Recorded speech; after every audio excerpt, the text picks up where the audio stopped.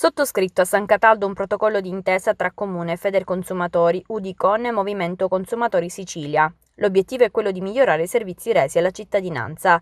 Si dà la possibilità anche ad altre associazioni dei consumatori di poter aderire. Intanto il protocollo permetterà di creare uno scambio di informazioni tra le parti sulla qualità dei servizi, ma soprattutto di effettuare un'azione di monitoraggio non soltanto di reclami e osservazioni dei consumatori, ma anche del rispetto da parte dell'ente delle carte dei servizi.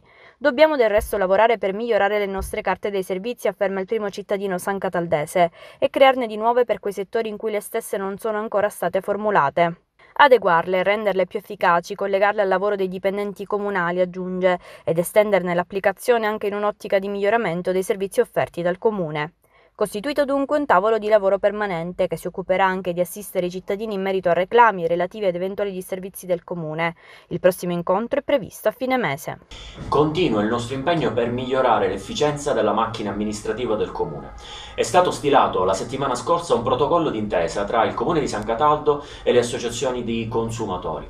Associazioni di consumatori che saranno chiamato, chiamate a verificare tutte le, eh, le, prassi amministrative del comune, saranno chiamate a contribuire a migliorare l'efficienza del comune, saranno chiamate a lavorare insieme al comune per la predisposizione e la messa in opera delle carte dei servizi relative a tutti i servizi comunali. Questo è un importante passo, è un importante passo perché ancora una volta questo comune diventa trasparente nei confronti della, della città e di tutta la, la cittadinanza e abbiamo coinvolto proprio quei soggetti che per legge sono deputati ad un controllo, ad un controllo su, sull'agire del, del comune. Ci aspettiamo che le associazioni consumatori e il prossimo incontro con, con queste sarà il, il 31 di gennaio siano severe nell'evidenziare quelle che sono le problematiche all'interno del comune e i eh, strumenti messi eh, in opera per riuscire a risolverle.